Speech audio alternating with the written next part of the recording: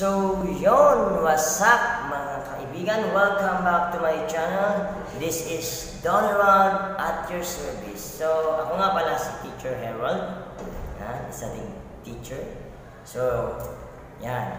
Gusto ko lang po mag-share ng mga bagay sa mga magulang na nahihirapan na anuhin yung kanilang anak, ipag-focus sa study kasi ang dami.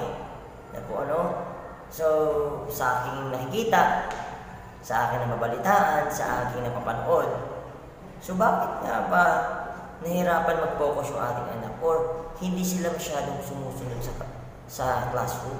Kasi bilang isang teacher, napakahirap po na magturo, no? Napakahirap talaga. Kahit sino napakagaling teacher, may hirapan siya. No?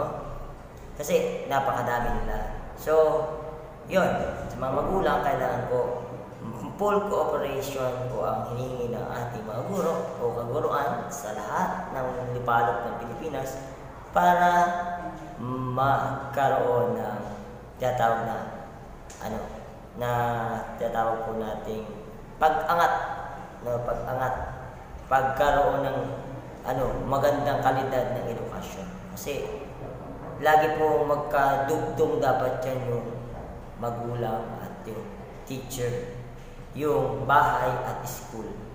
So, para po sa learning ng ating mga anak. So, ito pong aking ay base lamang sa aking experience. So, wala po akong anak. Pero may mga uh, kumbaga nag-alaga din ako ng bata na aking mga dati. So, at nakikita ko ah, sa kung paano ako pinalaki ng aking ama. At nakita ko sa mga pinsan ko at sa iba't iba. So ito yung bagay na dapat po nating ibalik. No? Para po hindi kayo mahirapan, hindi kayo naman problema na sa nasasayang yung aking pinagpapaaral sa anak ko, hindi nasasayang yung future ko, hindi pa huli ang lahat. So habang hindi pa huli ang lahat, sana po ay masimulan na natin. So full cooperation lang po. Kaya sana sa lahat ng magulang, so wag po natin agad sisihin uh, teacher kasi hindi po natin alam, minsan tayo po bilang magulang ay may pagkukulang din. At yan, sana ay mapunuan natin. So, tuturuan ko po kayo tips. Kung gusto nyo lang, i-apply. So, baka sakali. So, bakit nga ba ang mga bata ay na-out of focus sa klase? So, isa po sa dahilan nito ay ang gadgets. Oo, madaming, madaming bata ngayon kasi ang libang na libang pagdating sa gadget. Oo nga, nakabago tayo. Pero nakikita mo ba, eh, yung makabago ay hindi na nagiging maganda. Kayo po, nakikita niyo ba? Kasi doon nagsisimula yung pag-iba ng ugali ng bata. Doon nagsisimula yung hindi nila pagsunod. Di ba? Doon po nagsisimula yung hindi sila nakakapag-focus sa isang bagay. Kasi iba yung iniisip nila. So yun po. So tips ko lang po ito Una po sa lahat, para hindi po mawala yung focus ng bata sa pag-aaral, limitahan po natin o limitado lamang ang pagpapagamit ng gadget. Oo, mahal natin sila, pero hindi nakukuha po yan sa gadget para mapakita mo mahal mo sila. Kasi bata nga sila eh. Kung ano ibigay mo yun lang, di ba? So yun po, hindi po makikita natin o hindi natin may papadama sa pamamagitan ng pagbibigay ng gadget, pagbibigay ng layaw sa kanila, kahit sa panahon ngayon. No? Kailangan po nandun pa rin tayo kasi we, pag parent po tayo, trabaho natin ang maging parent, hindi lang trabaho natin papasukin sila, trabaho natin pakainin sila, kundi trabaho din po natin para matuto. Opo, para matuto sila. Kasi tayo po yung nagsisimula ng foundation nila. Tayo po yung nag gumagawa ng unang palapag ng hagdan na kung saan ang teacher ko yung papatuloy at doon po sa pagpapatuloy na yun, nandun po tayo nakaalalay. Di ba po ba kung titignan natin yung hagdan pag ginagawa, yung sinintarong hagdan, paano po ba nabubuo? So, nagsisimula po yun, hindi pa yung hagdan, di ba po? So, nagsisimula po yan doon sa kung saan may mga mga brace, at yung brace po, kayo po yun. Kayo po yung brace sa hagdan. At yung gumagawa po ng hagdan, ay yung teacher. Yan, bawat level, bawat palapag. At yung bata, yun po yung gagawa ng isa yung hahakbang doon. So para maging maganda nga, or maging matibay, ay kinakailangan, doon po tayo magsisimula. So, sa pagkakaroon ng isang magandang pundasyon para sa ating mga anak. Yan. Yun nga po, yung pag, ba, paglilimitado. Alam niyo po, uh, base doon sa aking mga experience, no, kapag wala po kasi masyadong gadget na nahahawakan yung bata, so di ba wala po siya paglibangan. So yun. So kung ating utusin sa mag-aral, mag-aral, magagawa natin. Alam niyo bakit? Kapag kasi hindi siya nakaka-experience pa mag-gadget or isang beses lang, or gawin po natin yung gadgets na ating pinapagamit sa kanila as a reward. Napaka-effective po nun. Kasi sabihin mo, oh anak, ngayon, bibilang kita ng gadget or ngayon yung gadget mo akin na, di ba? Sabihin mo, mahahawakan mo lang yung gadget mo if isa lang yung mistake mo sa work quiz. If makakapag-relate ka sa akin ng mga natutunan mo kahit lima lang sa school. If makakapag-solve ka sa akin ng addition, no, na kung ano yung topic nyo sa math. If magagawa mo yung mga magagandang bagay at pinakamahalaga sa lahat is if masasabi ng teacher mo na masunurin kang bata. Di ba? So doon pala minumod na natin yung pagkilos sa ating anak at control sa sarili at isa pa ay yung disiplina natin ng ating anak. Ibig sabihin, ganun kasi pa, yung papa ko eh. No? Kaya po lumaki kami na disiplinado, kami mga magkakapatid. Kasi ultimo cellphone, huwag kang hawak niyan Ultimo TV, makakapanood lang kayo ng TV or ikaw or siya kapag mataas ang score mo. Kapag may papakita mo sa akin na kaya mo mag-aral. Alam niyo ba, noon, no, kung nag-aral nga kayo noon, po, yan, tayo lahat po ay kinang, dadaan talaga doon sa practice. Yung hindi lang kasi sa school lahat matututunan mo eh. Yung teacher kasi giver lang siya, limited lang yung time to give the knowledge. Ang kailangan po natin bilang isang magulang, i-push yung ating anak na, oh, hindi ka pala nakinig kay teacher kasi may matutunan namang matutunan ng bata kapag hindi talaga nakinig. So, dahil naisip mo yun, tinanong mo siya, wala siya na na-represent sa yung ano, okay, bago ka humawak ng cellphone, kailangan makapag-recite ka sa akin, ano ba yung pinag-aralan nyo ngayon? So, ganun po yung aking papa, kahit naghiwalay nga kami. So, bilib na bilib ako sa ganun po siya. Kung saan, siya, pag dumadating, tiyatanong niya, tiyatanong niya talaga kahit busy-busy niya. Tinatanong ano ba yung nahaya, pwede bang i-recite mo sa akin? Katulad multiplication.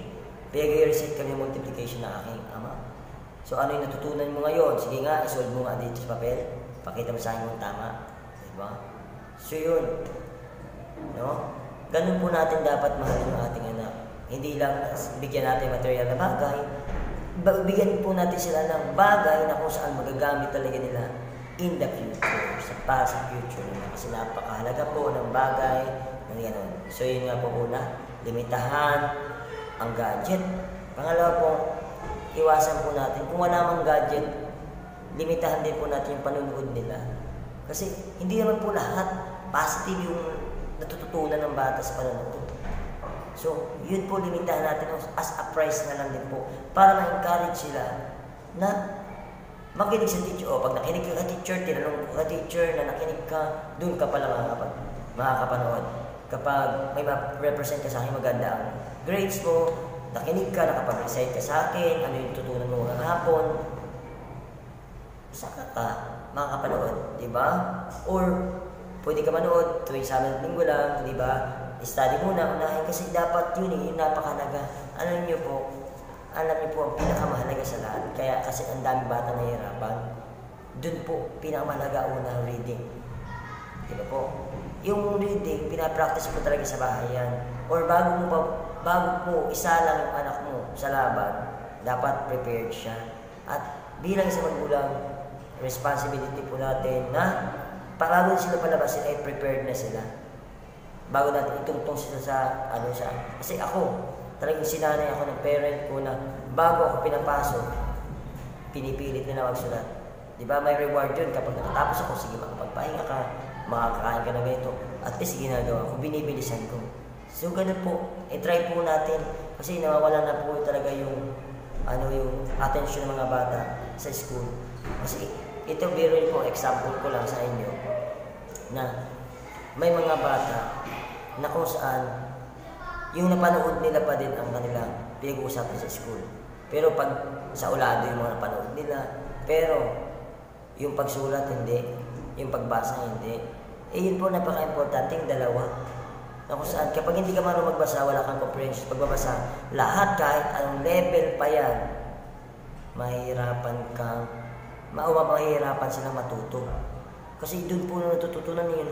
Yung book naman, hindi naman pinapanood yun eh. Hindi yung book. Kung si teacher man na nandun, so, naka, ano po, naka, selected na po yung mga words na binibigay ng teacher. Kaya kung wala silang focus, kung ang isip nila sa paglalaro pa din, ang isip nila sa pag-cellphone, panonood, so, hindi po magiging effective si teacher kahit sumigaw si teacher, kahit magalit. Di ba ngayon bawal nang magalit sa bata? Bawal ka nang sumigaw. So, paano pa makukuha yung attention? So, alam mo, baka awa ka sa bata.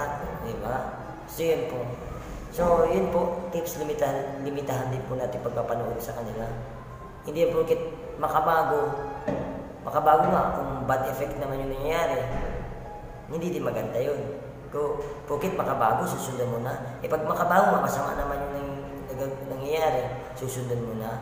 Diba? Hindi porkit makabago, makikiuso ka na din. Diba? Ang gawin mo, ano ba yung tama? Ano ba yung mas maganda?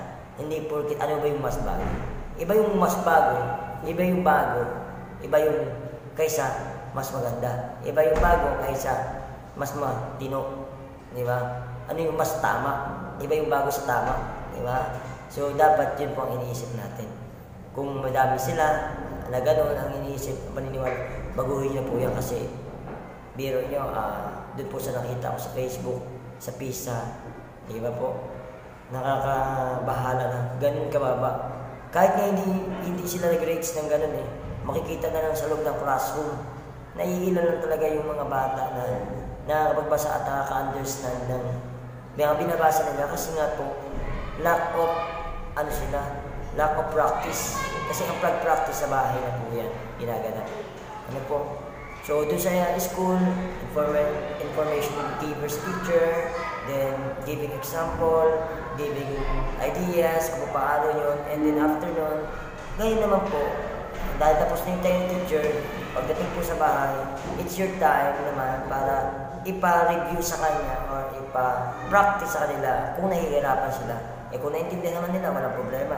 Kung medyo hin- hindi naintindihan, so just practice. No, i-practice po natin i-practice. Ganun po yung ginagawa ng parent ko dati. Kaya Talagang hindi man ako naging mas magaling. So at least natuto ako doon kasi sa pagkatuto ng pagbasa at pagsulat. Doon na po nagsisimula lahat ng ating paghakbang. Doon nagsisimula yung step natin. Kapag magaling ka magsulat, magaling ka magbasa, naiintindihan mo yung sulat mo, at may comprehension ka sa binabasa mo, yun na po ang napaka-importante. Doon ka na po mag-move at mag-level up. Ano po? Ayan sa mga magulang dyan, nananawagan po ako na sana ay kung ano yung mas maganda ay gawin, gawin po natin para hindi lang po natin teacher at sinisisi, hindi lang po school. So, nakikita ko mayroon din po pagkukulang sa atin. Ano po? So, yun. At ito po si Teacher Herald. So, nagpapaalala na dapat tayo po ay sundin po natin o gawin po natin yung tama or na mas nararapat para sa kinabukasan ng ating anak o ng ating mga anak. Kasi ito po, kung mahal mo talaga ang anak mo, hindi lang yan may papakita sa pera. Hindi mapapakita kung saan sa magpapasok. Hindi yan may papakita kung gaano kadami ang binigay mo sa kanya. Dahil kung mahal na mahal mo ang iyong anak, kaya naging nagkaanak kayo, mahal mo dapat. Kung mahal mo talaga siya, ang napakagandang ibigay sa kanya ay ang pagkatuto at yan ang kayamanan na hindi hindi makukuha ng sino man ang kayamanan at ang mga nilalaman ng isip mo. Yun po ang hindi mananakaw. Yun po ang kayang gamitin at kailangan gamitin sa future nila. Yung kaalaman. Yun po ang best na regalo para sa kanya. Hindi lang yung, oh, aral ka, pasok ka. Po, pinapasok mo nga, hindi mo naman nire-review siya. Pinapasok mo nga, hindi ka naman nagbibigay ng time para sa kanya. Na, oh, kamusta na? Kasi ang bata po, ito po, dagdag ko lang. Yung bata po kasi, kapag hindi siya pinapansin ng magulang niya, or sila, yun po yung mga bata na walang ganang mag-aral. Kasi parang hindi nyo na-appreciate siya, hindi nyo binibigyan siya ng time. O kamusta naman pagpasok mo? Ano ba yung natutunan mo? May natutunan ka ba? O dito, tulungan kita. Ano ba yung nahirapan ka dyan? Di ba? O kung hindi mo pa masyado naintindihan, tulungan kita. Titanong mo kay teacher kung ah, okay ito o tama ito. Din sundin natin, di ba? So, ganun po. So, para maiwasan po natin, sana po, tips ko lang to kung gusto nyo sundin o hindi.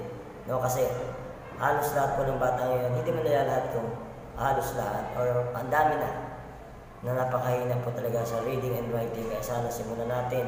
Huwag na po nating han- hintayin na tumanda sila ng ganyan kung mahal talaga natin sila.